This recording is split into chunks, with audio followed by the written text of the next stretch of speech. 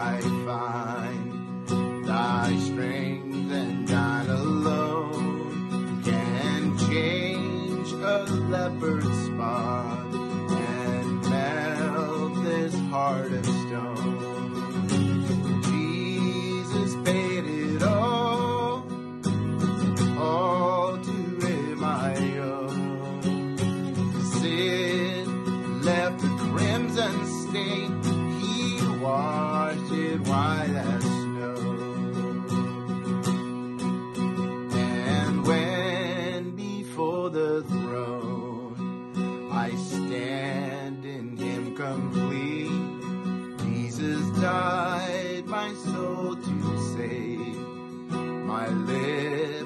shall still repeat.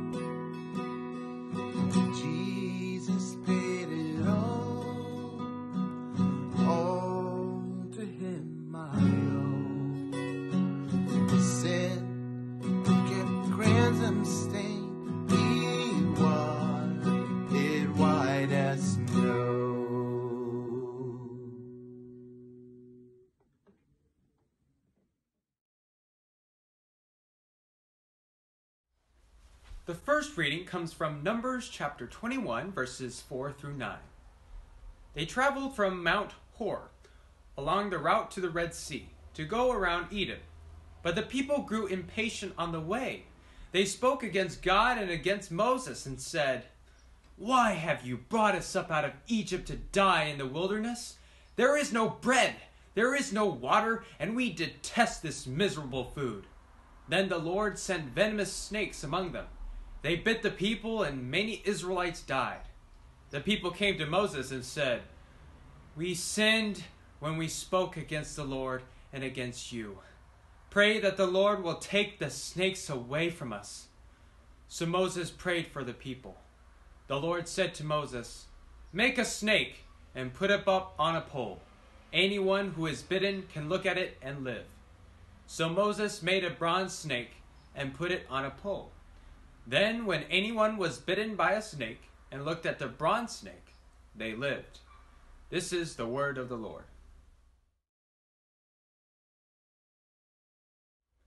The second reading comes from Psalms chapter 107, verses 1 through 9. Give thanks to the Lord, for he is good. His love endures forever. Let the redeemed of the Lord tell their story. Those he redeemed from the hand of the foe, those he gathered from the lands, from east and west, from north and south. Some wandered in desert wastelands, finding no way to the city where they could settle. They were hungry and thirsty, and their lives ebbed away. Then they cried out to the Lord in their trouble, and he delivered them from their distress. He led them by a straight way to a city where they could settle. Let them give thanks to the Lord for his unfailing love and his wonderful deeds for mankind. For he satisfies the thirsty and fills the hungry with good things. This is the word of the Lord.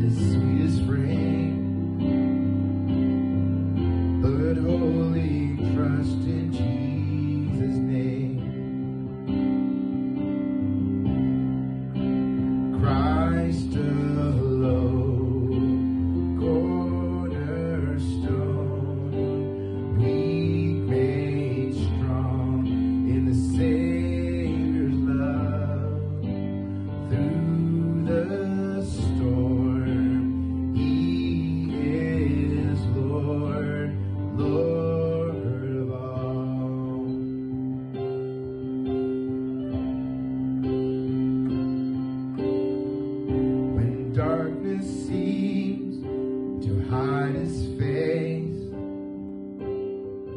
I rest on his unchanging grace.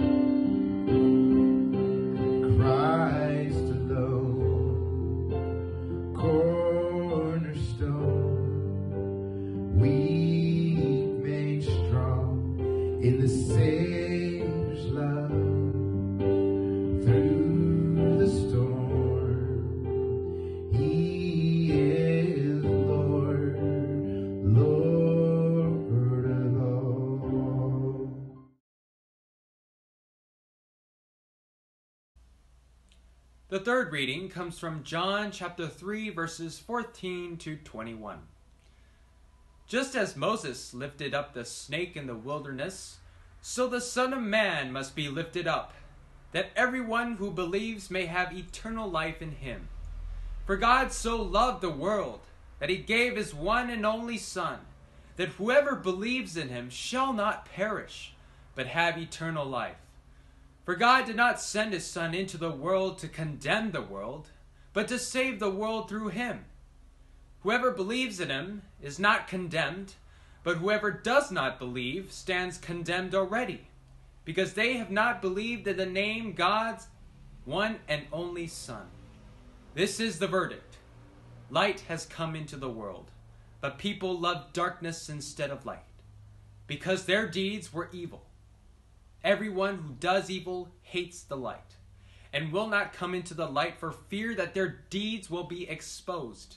But whoever lives by the truth comes into the light, so that it may be seen plainly that what they have done has been done in the sight of God. This is the word of the Lord. Yes, the context for our gospel reading this week is Nicodemus and uh, Jesus' conversation in the dark of night with Nicodemus.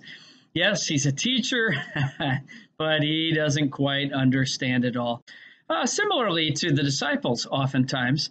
Uh, but at the same token, here, as Nicodemus meets with Jesus in the dark of night, Jesus is responding to him and saying, Look, unless you are begotten from above, if you are if if you are begotten from water and the spirit and then again in verse 7 begotten it is necessary to be begotten from above.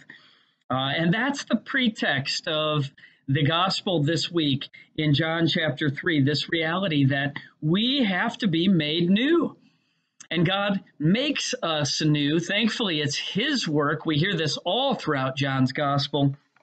And it is for us to know the truth, right? This is a message and live in the light because being next to the light, living in the light, living in the Word of God is important for what it means to be Christian. Well, so that takes us to our text.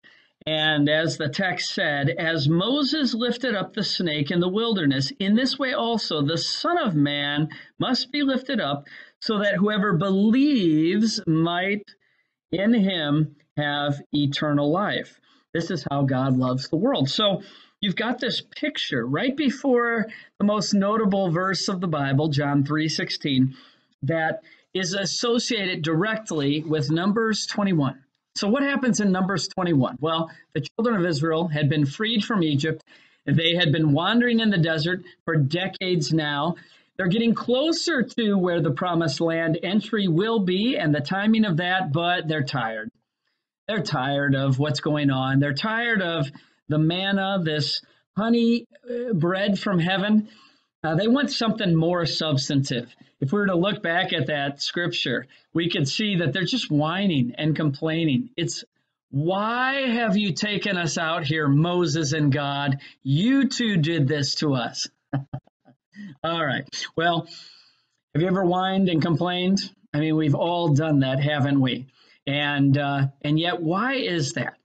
Well, because we want it our way. We want life and everything the way we want it, and we want it now. And yet, we have to be reborn from above, begotten from above, right? If we remain in the darkness of our sin or sin nature or the twisted thinking, God's wrath is on us. But as He brings us to the light, as He brings us to His light, and how does he promise to do that? Through baptism.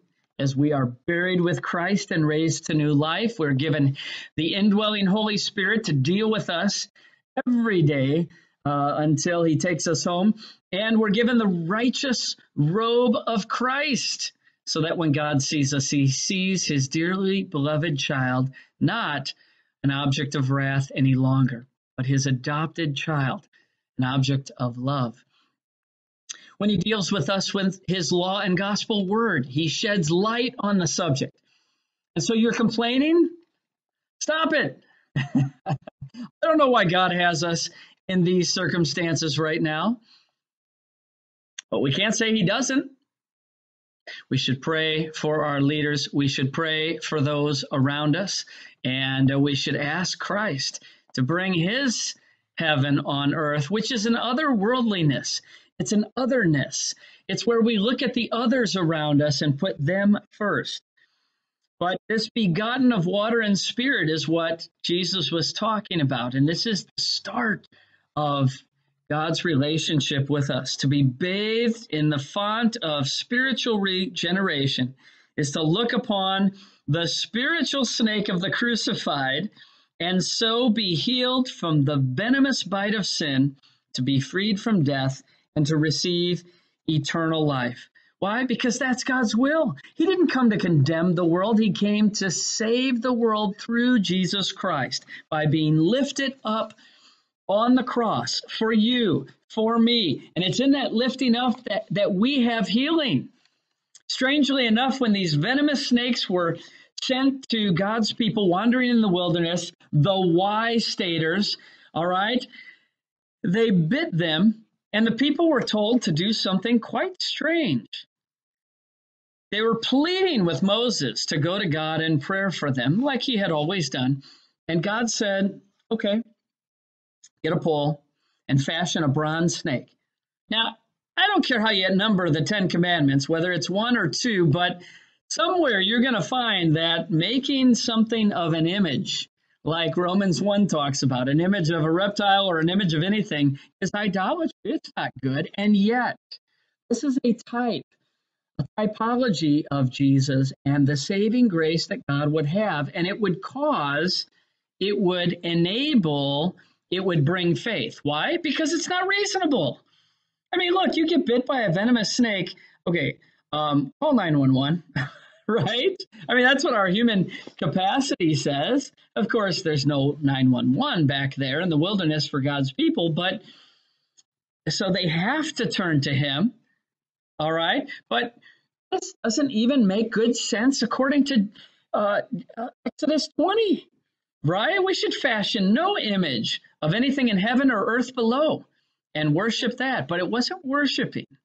All right. There was this act of faith that the people were called to have in faith to look to what Moses, their leader, uh, made. And in that faith, they would be healed from their sin and grumbling. Okay. The lifting up of the bronze snake by Moses placed in the midst of the wilderness people an act of God that confronted them with a crisis, demanded faith or disbelief, life or death, and it was placed right there before them. Now, this wouldn't be the last time, all right? In Joshua's day, in chapter one, today choose life. They had they had the either or then. In fact, today we who are graced by God's presence in word and sacrament, we have a choice too. We can turn, we can walk the other way, we can run and hide.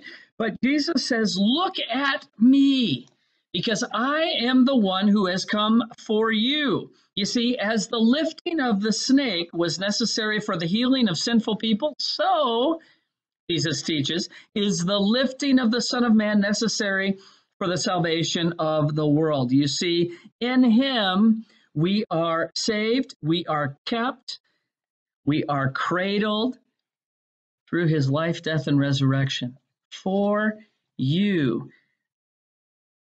And it it doesn't really end there either. The mystery of John's gospel is that there's even more. The more is kind of troubling because the way that we read this in John's gospel is that actually the time of glory for Jesus is not when you and I would prefigure it to be. It's not at the empty tomb. It's actually, and we'll get into this more next week in chapel in Mark chapter 10, it's actually at the cross. You see, this is why God's ways are different than ours. This is why his ways are higher not just literally on a ball, but figuratively because they don't make sense to our rational capabilities. How can it be that dying on a cross when you've led the perfect good life can be better and can be the glory moment of the creator of the universe? Does that make any sense? Well, not to our rational minds, of course not. But the crucifixion is the exaltation of Christ in John's gospel. It's not a transition to glory, it in fact is the glory. The exaltation of the Son of Man is itself the crucifixion, and the crucifixion is itself the exaltation of the Son of Man. The cross assumes the throne of majesty at God's right hand, so that the rule of God is actually from the cross. The throne of God is from the cross. And so this way of Jesus is different, but it's good. Attached to it is all his promises. Let's pray. Father, our ways often get us into trouble and difficulty. The feeling of the circumstances of the world around us is troubling today for sure. And yet, you have given us a greater way, a better way, a way that puts others first, which we'll hear more about next week in Mark chapter 10. But at the same time, what we know is that your way has to be believed. It comes from your word. And you say that putting others first, in spite of our considerations and concerns, is most important. God, we can't do that easily, if at all. We need your help. Forgive us, encourage us, strengthen us, save us. In Jesus' name, amen. In God's mercy, He has sent His Son to be lifted up to that place of glory, crucifixion, for you, for your behalf. And in your repentance and mine, you are forgiven. In the name of the Father, and of the Son, and of the Holy Spirit. Amen. Power